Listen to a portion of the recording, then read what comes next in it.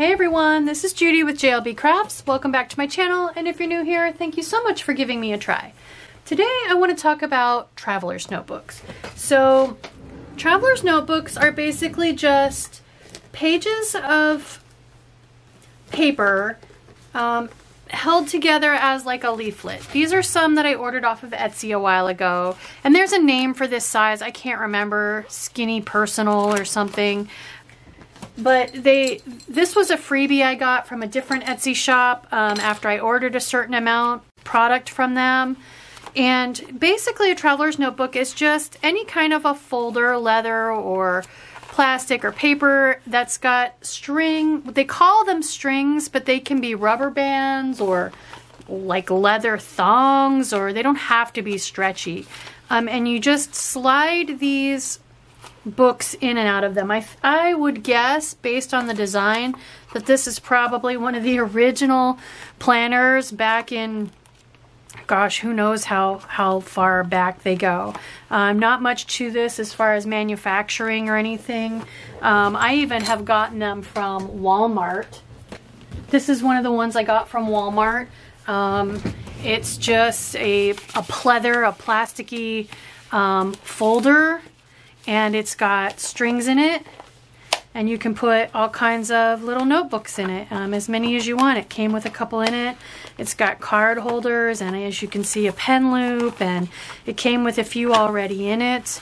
Um, so I, I, like the concept, especially if you do like art journaling or if you've got a pretty involved special project. My husband and I are going to be um, looking for and building um, our our quote unquote forever home over the next few years. So I thought um, he, you know, if he had a notebook he wanted to keep with project notes or sketches, since he's an artist, that might be a fun way to do it. So then I, I found out that Planners Anonymous, as you guys know, I do Planners Anonymous unboxings all the time. Not because I'm affiliated with them or anything.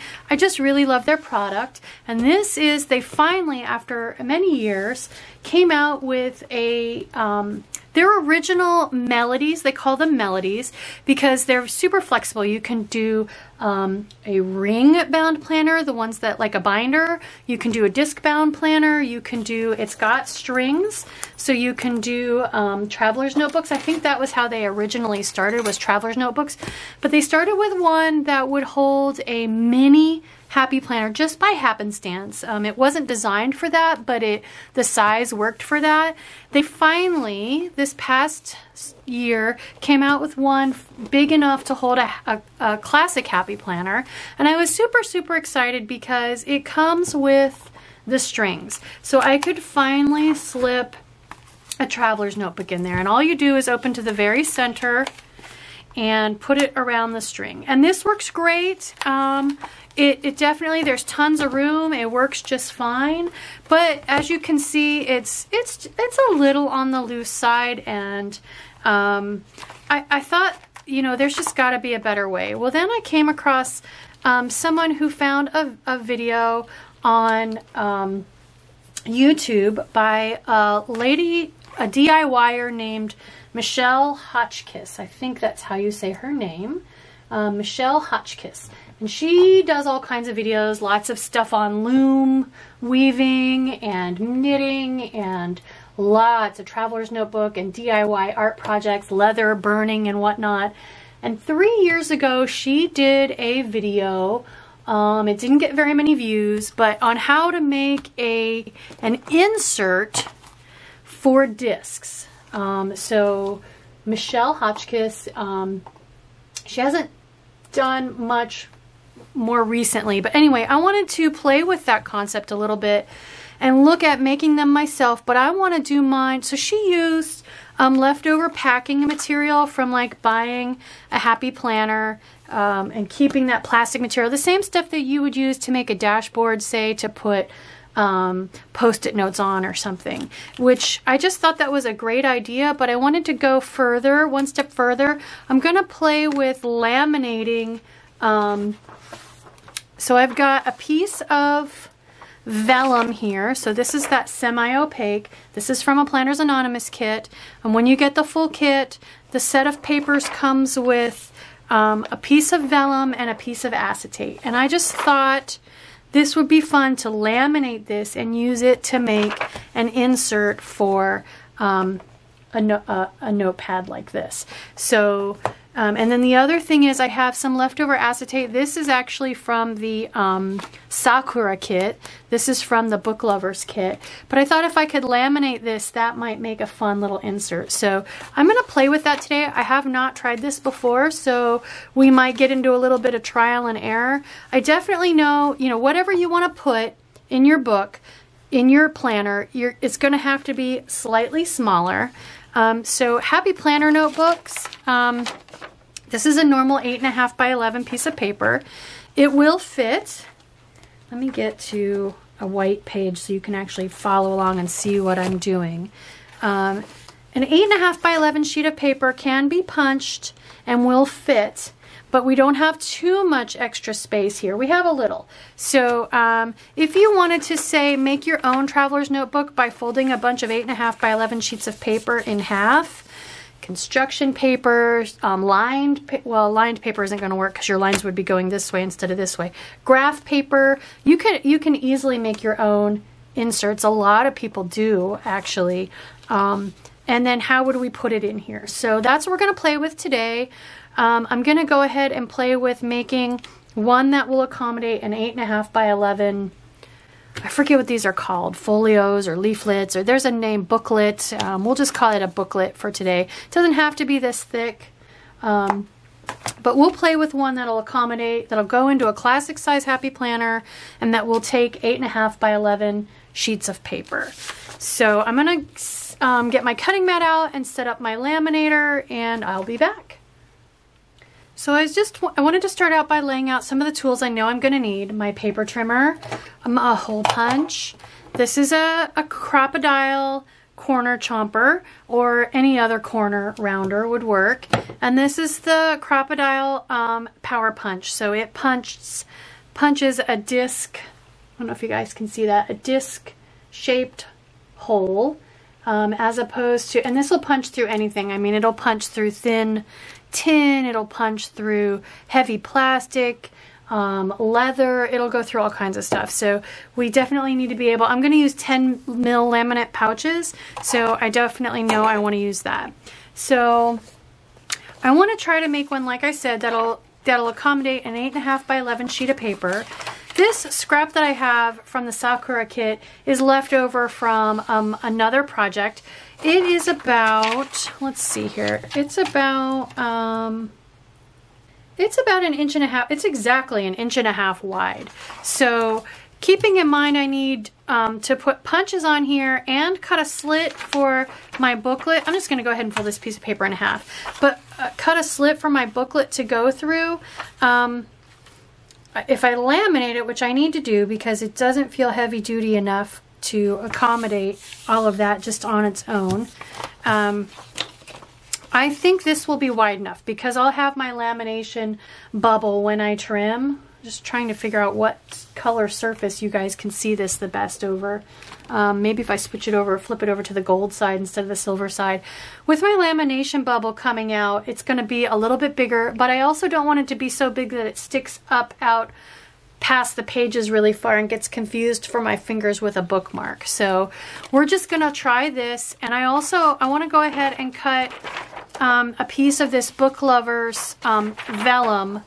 It's a little bit brighter on that side of the same width. So I'm going to go ahead and cut this one to be about an inch and a half as well. Let's see if I cut. So there's a, your, your paper trimmer does have um, a scale over here. So right here is an inch, so there's an inch and a half. So I'm just going to chop this at about an inch and a half. There we go. All right, so step one is going to be to put these in a 10 mil laminating pouch and laminate them. Um, so I'm gonna, I forgot to get my laminating pouches out. So I'm gonna get those out and I'll be right back and I'm gonna bring my laminator over to where it's on screen so you can see it. Okay, so I have one 10 mil laminating pouch. I have my two strips for the two different options I want to try. I have my laminator warming up here. Hopefully you can hear me over the whine it's making. So I could probably fit more than two in here, but since I I'm still working on the design. Oops. okay, it's ready. Since I'm still working on the design, I'm to go ahead and just leave myself tons of space. So I'm just kind of putting these up inside the pouch at the top of the pre-sealed space. Um, trying to get them straight. And I think I want to go ahead, um, I just, I don't know why, I like the silver better than the gold. So I'm going to put this with the silver facing up. Just with plenty of space in between. Like I said, nice and straight. There we go. So, I mean, step one, really, that's all there is to it. If you're not going to use packing material or heavy plastic, um, I'm just going to go ahead and laminate it. And no, my laminator um, is not about to die. It self-sets its own speed based on... Oh, and Calcifur is curious what's making the noise on mom's desk. Um, itself sets its own speed based on the thickness of the laminating pouch. So it has slowed down. You're not imagining things. It, uh, it scared me the first time. I thought it sounded like it was about to die. So.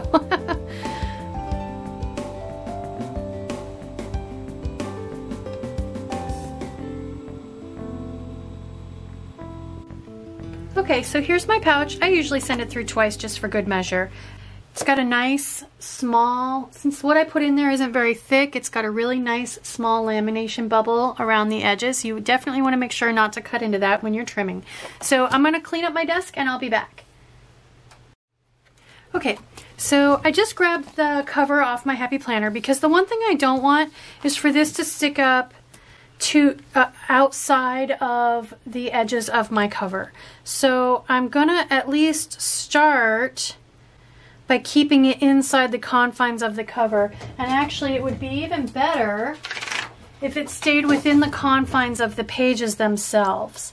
So yeah, that's to work just fine. Um, actually, I can cut it about, since I, ha I went right up against the lamination bubble there, um, I could cut it about even with the laminate on either end.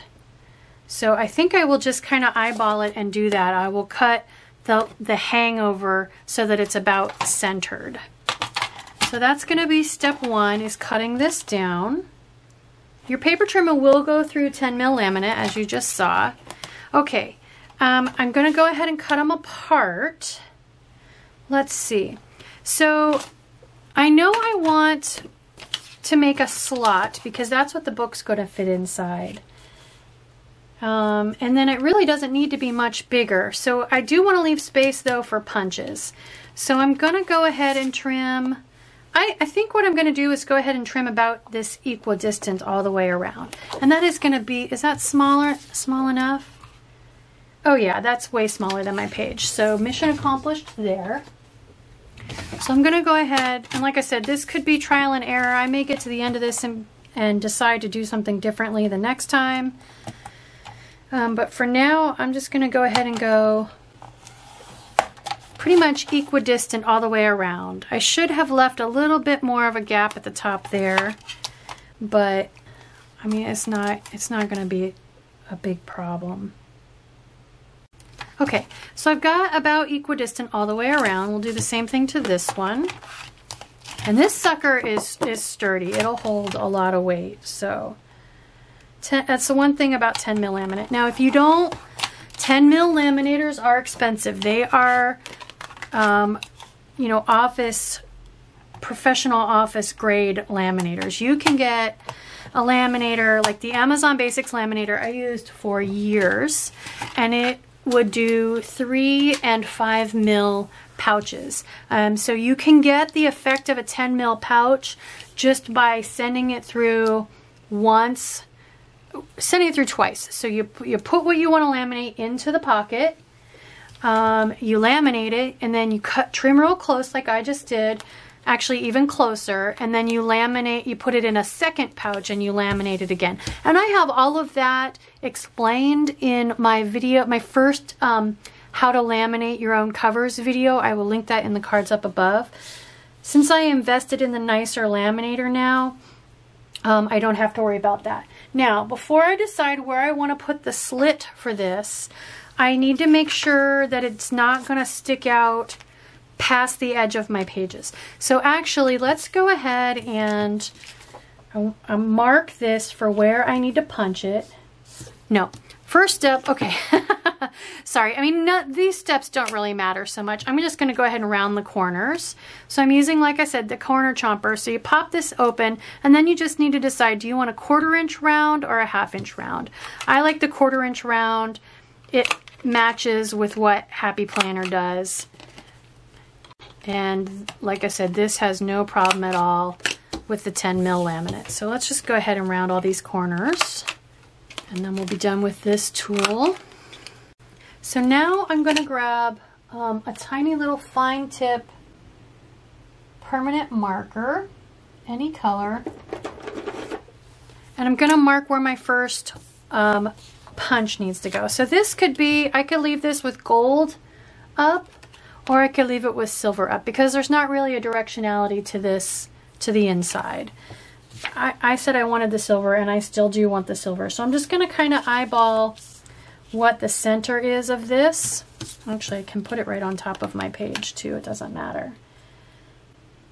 Can you see it there? Yeah. Okay, and we'll go ahead and do this one too. Again, right at the edge, just kind of centered. There we go. I can see that one.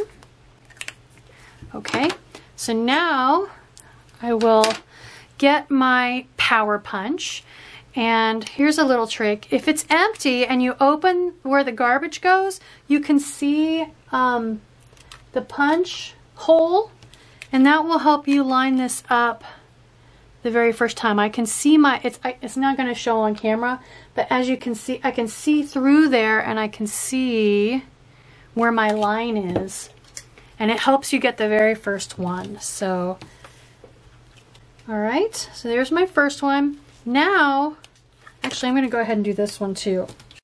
Now I can close this and use, so it's got this little alignment tool. Once you have your first one, you just fit that in the hole that you just made and do the rest. There we go. We'll finish this one up.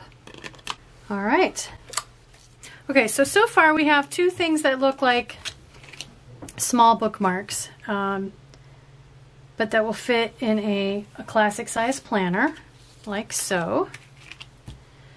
And actually this one I can still use silver or gold.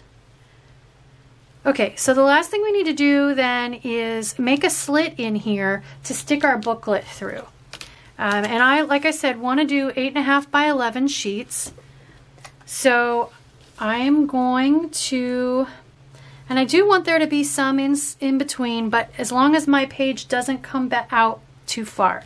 So I think I'm going to go about, about centered actually, because I think it's kind of nice when some of this pattern shows, which let me zoom in a little bit more so you can see a little bit better what I'm doing. And I know there's glare, there's just frankly not much I can do about it. So and you don't want your slit to be too big because you want to keep the structural integrity of your piece of plastic. So if I just kind of center this, yep, there we go. That leaves me I'm very safely within the confines of the page. So let's just go ahead. So what I'm going to do next is hole punch. And since this laminated inner part is exactly 8.5 by 11 and I need to comfortably fit inside that, I, I want my hole punch to be just slightly larger. So I'm going to go ahead. I'm just using a regular single hole punch um, because I want to keep the edge. I'm just going to center it, but go a little bit outside of that. There we go. See? So I went off just off the edge just a little bit. So I've still got solid and I'm going to do the same thing at this end. And I may regret eyeballing this um, because it'll result in a slightly crooked slot. Ah, there we go. So now I've got that hole. See it down there? And I went, like I said, just slightly outside. So then all we're going to do is at the very outer edges of these punches, we're going to cut all the way down and connect the two punches so we have one big long slit. So I'm going to do the same thing on this one. And that's why I'm thinking next time I do this, I'm not going to snug the inner piece right up against that pre-made seal because that's leaving me a very thin edge here.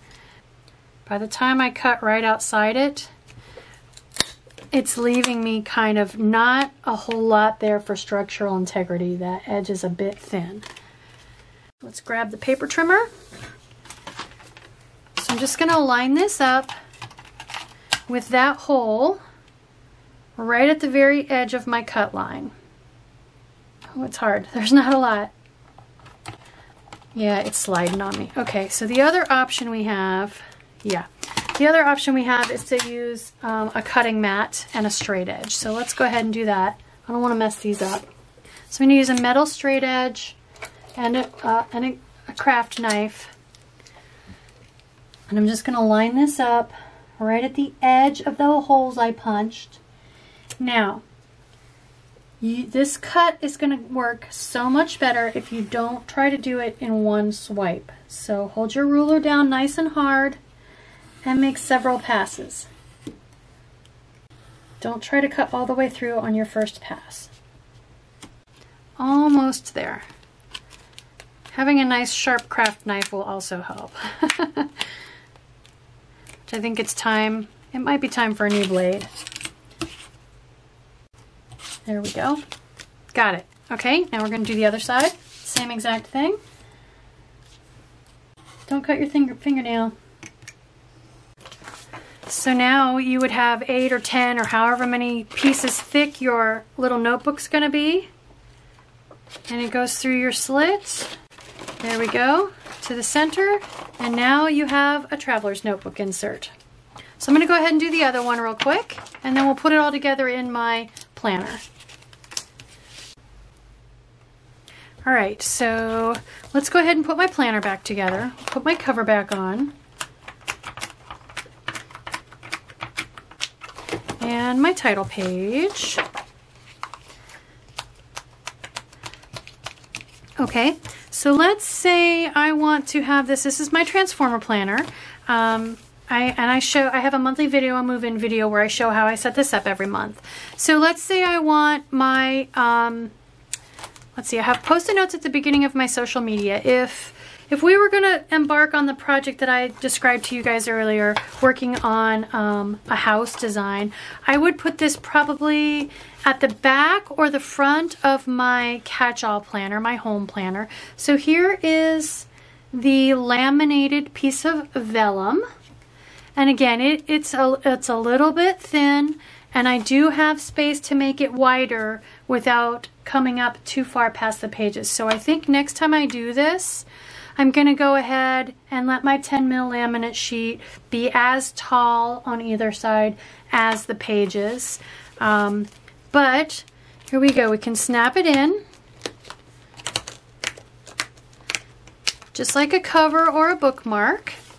And then we would take our notebook, flip it open to the center, and this would actually work um, with like a, a um, oh, composite notebook, um, a composition notebook that the kids get for school. That would totally fit through here. So any, you see how much space you have. Let me flip it over to the, to the white side. So you could put quite a bit um, thicker booklet in here. So, and then now you have um, a traveler's notebook insert that can go in and out of your planner and move all around. Um, here is the one that I got at Walmart. It is a lot, lot thicker. Um, we can put that. It's a little. This is a little tall for that. Oops, wrong side. um, it, as you can see, it's got a good inch of space but it would still work for this. Um, it might rattle around a little bit. It won't once your planner's closed. There we go. So now I've got that in here and I can actually even work in it a little bit or I can slide it right out if I need to um, and put it back in. So I can, I can pop this little insert out and put it wherever I want. And now my planner is really fat You can see it in there, um, but it still works. So there we go. That is how you make an insert for a traveler's notebook. Um, I think that is just so slick. Um, another way, like I said, I found some really beautiful hand-bound um, journals and inserts. You can put, like I said, now 8.5 by 11 in here. I have some ideas for um, sticker sheets that you could put in here. This is totally reversible. If I decide I want the gold side, I can flip it over, pop it right back in. So there we go. There is, that is a refresh. Thank you. Um, thank you, Michelle Hotchkiss, for the original idea on this. Um, I hope you like this video. I hope it gets you excited to try doing some new inserts and different things in your planner. Um, you can even do a top-down book if you're a lefty and you want a, you want a top-down um, bound in there. So anyway, I hope you like this video. I hope it gets you excited to try some new things in your planner. If it does, please consider liking and subscribing. Thank you!